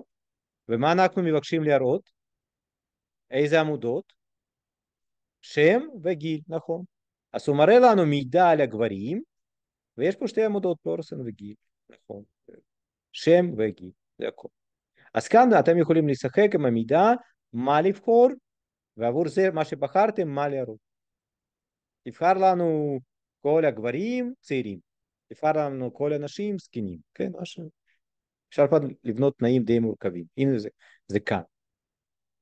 אנחנו רוצים לבחור, מה אנחנו רוצים לבחור? כל התצפיות, אנשים שגיל שלהם 30 גדול מ-31, או גבר. ואיזה עמודות? מה יש אחרי פסיק? כלום. זה אומר כל עמודות. אז הוא בוחר לנו רק את התצפיות של גברים, או בגיל גדול 31. אז הוא בחר לנו גבר, כי זה גבר, וזה גבר הוא בחר, וזה גבר הוא בחר, אבל הוא גם בחר את האישה הזו, למה? כי גיל שלה יותר מ-31. וכאן יש את המיקום הסידורי במסגרת נתונים המקורית. אוקיי. זהו, זה הנושא האחרון להיום. איך לעשות גרפים. זה ייקח לנו 20 דקות לכל יותר, זה מאוד פשוט, פשוט קריא- לקרוא לפונקציות גרפיות. סופר דומה לפייתון, רק שבפייתון הייתם צריכים לעשות אימפורט לזה, ואז גרף, ואז פשוט בונים גרף. אתם תראו, זה מאוד פשוט. מה זה פשוט? צריך להתנסות, אבל אין פה קונספטואלית שום דבר שאתם לא יודעים. בסדר? אוקיי, אז בואו נראה. תשימו לב, חברים, עוד, עוד שיעור אחת, מקסימום כל החומר שהיה בפייתון, מקביל סיימנו. גם גרפים, עבודה עם קבצים, גם לולאות, כמעט רקורסיה קצת, נכון? כמעט התחילו דברים יותר חדשים, יותר מתקדמים. אוקיי, אז תראו, כאשר עובדים נתונים, והמטרה שלכם בשנה ב' ובכלל לדעת לעבוד עם נתונים, בהרבה מקרים אנחנו נצטרך לעשות הצגה גרפית של נתונים, נכון? למה? כי בהצגה גרפית אפשר לראות הרבה דברים, אפשר לראות האם יש בנתונים מגמה, האם יש נתונים חסרים לפעמים תראו, האם יש ערכי- ערכים חריגים. אתם יכולים לראות בגרף שרוב האנשים עם משקל נגיד עד 100 ופתאום יש שני אנשים עם משקל 200. בגרף זה הרבה יותר קל לראות ממה שבטבלה, נכון? אם אתם מסתכלים בטבלה עם 10,000 שורות, לא רואים שום דבר, קשה לראות בטבלה. גרפים עוזרים לנו להבין נתונים. אז מטרה של החלק הזה, שאני אראה לכם איך בונים גרפים ב-R. אוקיי. יש הרבה פונקציות לגרפים כמובן, יש ספריות גרפיות מאוד מתקדמות, היום בשיעור הזה אני אראה לכם כלים בסיסיים. יהיה לנו שיעור אחד לקראת סוף על ggplot, ספרייה מתקדמת לגרפיקה, ששם אפשר לעשות גרפים סופר יפים, אנחנו היום לא שם, אנחנו היום נעשה גרפים פשוטים. אז איזה סוגים של גרפים אתם יודעים? דיאגרמת פיזור, סקאטר פלוט, שפשוט אנחנו בונים נקודות לפי קרדינטות XY, נכון? אפשר, כמו דיאגרמת פיזור, אבל להעביר קווים בין הנקודות, נכון? אם זה נקודות, אפשר להעביר ביניהם קווים. אפשר לבנות היסטוגרמה, זה מה שהיה לנו ב-R פלוס מינוס, כן? ויש גם box plot והרבה דברים אחרים. למדתם box plot בסטטיסטיקה או שאת לא? לא למדתם. מתישהו תלמדו. אוקיי. אז תראו, זה דברים מאוד פשוטים. נניח אתם רוצים לבנות פרבול, x בריבוע. אוקיי, ערך, דרך פשוטה, אחת הדרכים הפשוטות, נגיד ש-x נקבל ערכים בין 1 ל-100, y שווה ל-x בריבוע, פלוט xy. אז הנה זה בונה לנו פרבולה. יש פה 100 נקודות, זה מתחיל בין 1 1 והולך עד 100, 100 בריבוע 10,000, זה כל. יותר פשוט מפייתון, נכון? לא צריך אימפורט, לא שום דבר. אוקיי. כאן פונקציה ת"ש, לא דיברנו, תסתכלו. לוקחים את הנתונים שנמצאים ב-R, שנקראים USA arrests. זה נתונים על הארסטים ב-USA, אז עושים להם סוג של אימפורט, עושים, כדי שאפשר להשתמש בהם בלי להזכיר שם, עושים להם attach, אנחנו נדבר על זה מאוחר יותר, בסדר? אז בנתונים האלו יש עמודה, זה data frame, זה מסגרת נתונים, שנקרא מספר murders, רצחים, ומספר תקיפות assault. ואז בונים את הדאטה. פשוט נותנים שתי עמודות לפונקציה plot, וזה בונה לנו את הציור. לזה קוראים scatter plot, נכון? זו דיאגרמות פיזור. מדיאגרמות כאלו את, אתם יכולים ללמוד הרבה דברים. קודם כל אנחנו רואים כאן שכנראה יש קורלציה חיובית בין פרמטר אחד לשני, נכון? איך אתם רואים את זה? שזה נמצא בכיוון עלייה כזה, נכון? זה מפוזר, אבל זה, זה עולה. אוקיי.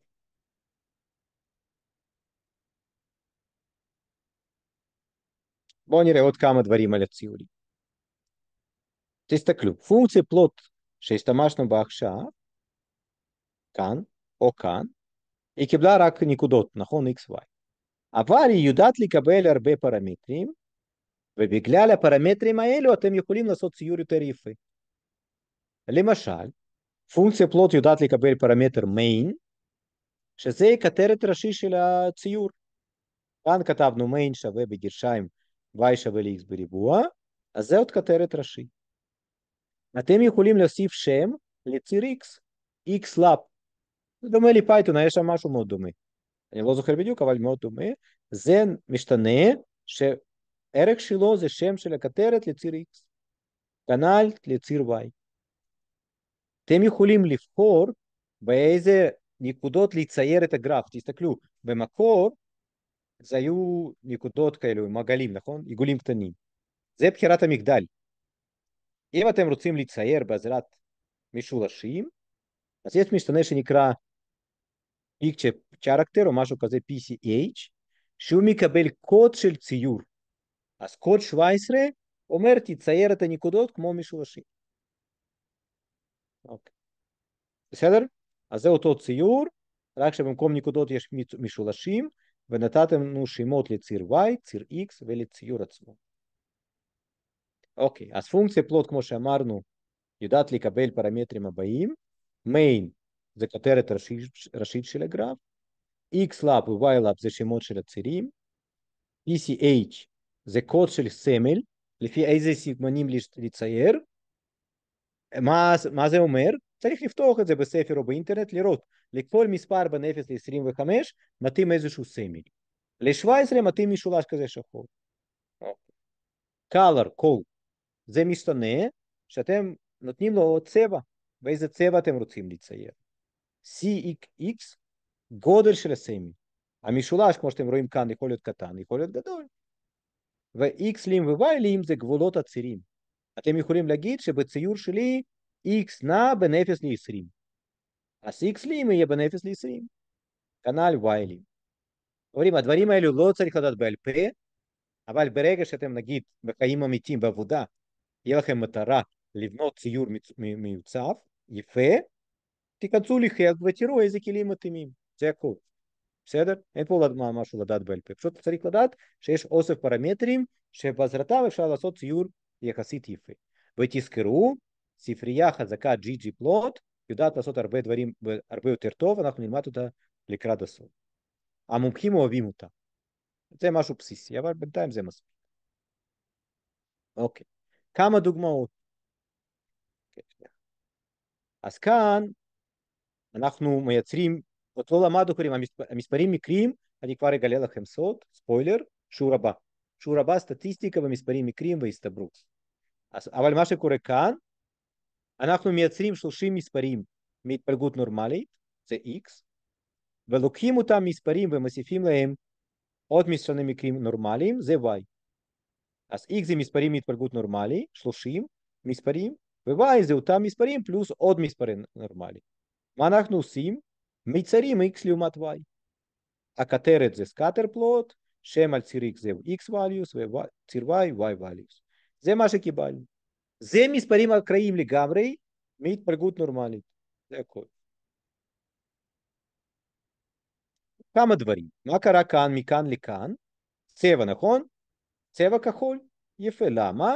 כי משתנה color, אתם רואים, בחרתי לו קוד, נכון? זה קוד, זה לא כחול. אפשר לרשום blue, ואז זה יהיה כחול. הבעיה במילים, שיש הרבה יותר צבעים ממילים, נכון? כמה יש שמות לצבעים? 20, 30, 100, צבעים יש מיליונים. לכן יש כזה ספר של קידודים, ששם כתוב כל קוד. לכל גוון איזה קוד יש. יש ממש ספר, אתה יכול, כן, ב-PDF לראות וזה. אז הנה בחרתי איזשהו קוד, וזה דומה לכחול. ואם אתם לא רוצים להתעסק מקודים, תרשמו בלו, רד, גרין, זה יהיה פשוט בצבע מתאים. כמו שאתם ראיתם ב-R, הוא אפילו צובע את זה, נכון? איפה הקוד שלנו? הנה, אתם רואים אפילו צובע, כשאתם בוחרים צבע הוא צובע. זה סתם נראה לי פיצ'ר מיותר, אבל יש. מה זה PSH? זה גודל של הפיקסל. אתם רואים? זה עיגולים בגודל מסוים. אם תרצו מעגלים האלו יותר גדולים, תגדילו PSH. יותר קטנים, תקטינו. כמה לבחור? לנסות, פשוט לנסות, בסדר? אוקיי. תסתכלו מה עשינו כאן. יפה, משהו יפה. חלק מהנקודות צבענו באדום, חלק בכחול. לפי מה? לפי תנאי. תנאי אני בחרתי, זו דוגמת צעצוע. תסתכלו, אם סכום x פלוס y קטן שווה מ-0.3 סתם שירותי, אז צבע של הפיקסל אדום. ואם x פלוס y גדול מ-0.3, צבע כחול, סתם כדי לראות לכם שאפשר. ואז כאשר אנחנו מציירים x לעומת y, הצבע שווה למארג של הצבעים, שהוא יכול להיות או אדום או כחול לפי התנאי, נכון? והנה התשובה, אתם רואים? אפשר לעשות ציורים די יפים. אתם יכולים למשל, אם יש לכם כאן, לא יודע, משכורת וכאן השכלה, אתם יכולים לצבוע כל מי שיש לו מעט השכלה ומקבל הרבה בצבע אחד, וכל מי שיש לו הרבה השכלה ומקבל מעט בצבע אחר. כלומר אפשר לעשות ציור עם צבעים, וזה לפעמים עוזר להבין יותר טוב מה קורה. זה ברור? מה כאן השתנה? שינינו כאן סימנים, נכון? אה, זה, נכון. איך עושים את זה? הנה תסתכלו, PCH שווה 3. הסוג של סמל הוא 3. אז מה זה 3? זה כזה מעגל עם ה-X בתוכו. אה, BCF זה לא גודל, זה סוג. נכון, זה סוג. נכון, C, C, נכון, זה זה. CEX זה גודל, ו-PCH זה סוג. צודק, צודק, צודק, צודק. כן. כן, אז PCH זה סוג, נכון, זה סוג. אז 16 זה מעגל. מעגל עם צבע בפנים. אוקיי. יש פונקציה פרס, שיודעת לבנות דיאגרמת פיזור לא לא רק עבור זוג משתנים, עבור יותר. נגיד יש לכם משתנה x, משתנה y ומשתנה z. אז אתם יכולים לבנות דיאגרמת פיזור x לעומת y, נכון? x לעומת z, נכון? ו-y לעומת z. כלומר אפשר לבנות שלוש דיאגרמות פיזור, נכון? אז כדי לא לקרוא לפונקציה פלוט שלושה פעמים, אפשר לקרוא לפונקציה פרס, שהיא בונה דיאגרמת פיזור עבור כל עמודות מספריות, או עבור מה שאתם בחרתם, במסגרת נתונים. אז אתם רואים. זאת דיאגרמת פיזור x לעומת y, זאת דיאגרמת פיזור x לעומת z, וזאת דיאגרמת פיזור y לעומת z. וכאן מה שלמטה זה הפוך. אז זה y לעומת x, זה z לעומת x וזה z לעומת y. אז ככה אפשר לבנות כזה ציור מסכם, אם יש לכם מספר עמודות מספרים. מה זה? זה פשוט pairs. לא, זה לא box, זה, זה דיאגרמת פיזור, אבל של כל הזוגות האפשריות. כן. boxplot זה משהו אחר, תראי את זה, אבל boxplot אנחנו לא לומדים, רק יש שקף על זה.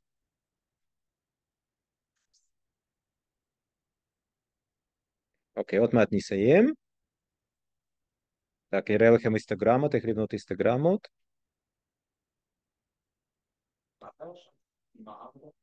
ארבע. זה אותו דבר, זה פשוט דאטה, מס... זה דאטה, כן. זה דאטה מ- USArrests, שיש פה ארבע עמודות של מספרים, אז אתה קורא לפונקציה pairs, אז הוא מציג לך דיאגרמת פיזור של כל שתי עמודות. מאורדר לעומת אסאלט, מאורדר לעומת urban population, מאורדר לעומת זה, כלומר הוא בונה לך את כל הדיאגרמות פיזור. תשימו לב, אם יש לך 4, 5, 6 עמודות, איכשהו אתם רואים את זה. אם יש לכם 10 עמודות, זה יותר מדי צפוף, לא תראו שום דבר. כלומר, משתמשים בפיירס, עד שיש לכם בין 2 עד 8, 10 עמודות, יותר מזה כבר קשה לראות. אוקיי. רציתי להראות לכם עוד משהו, אנחנו נחזור לזה פעם הבאה. אוקיי. אפשר לראות פה ציורים טובים, אנחנו נחזור לזה פעם הבאה. אם אתם רוצים לבנות היסטגרמה, קוראים לפונקציה היסט. למשל כאן אנחנו מייצרים 300 מספרים מקריים מהתפלגות נורמלית, ובונים היסטגרמה. התפלגות נורמלית ראיתם? למדתם? אתם רואים זה דומה קצת להתפלגות נורמלית, נכון? אני אחזור על השקפים האלו בשיעור הבא. בוקספוט אנחנו לא לומדים, אבל זו דרך פופולרית להציג נתונים, ומן הסתם יש לזה פונקציה שמציגה את הנתונים בעזרת בוקספלוט. כמובן אם יעניין לכם תיכנסו בוויקיפדיה או תסתכלו, בסדר? זה אנחנו, אבל לא נשתמש, בקורס שלנו לא נשתמש. יש הרבה פונקציות, למשל יש פונקציה שיודעת לבנות משוואה. כלומר אתם אומרים לה תבנה לי x בריבוע ממינוס 7 עד 20, היא בונה לכם. אתם רוצים לוגריתם x, תבנה לי פונקציה לוגריתם x בין 1 ל-20. יש כל מיני פונקציות שונות, אנחנו נדבר על זה פעם הבאה כבר, אני לא רוצה להעמיס עכשיו בעשר דקות הדברים המורכבים. אז פעם הבאה אנחנו נסיים גרפים, ונתחיל לדבר על הסטטיסטיקה. אז פעם הבאה שיעור הוא הסתברות וסטטיסטיקה, אחרי שיעור הבא תוכלו לעשות סימולציות, התפלגויות, גינומטרי, מה שלמדנו. כן. ואתם תראו, חברים, מה שחשוב בקורס R, לעשות ניס... תרגילים, לתרגל את זה, נכון. אוקיי, תודה רבה, אנחנו נתראה פעם הבאה בכיתה זו. בסדר? אל תלכו.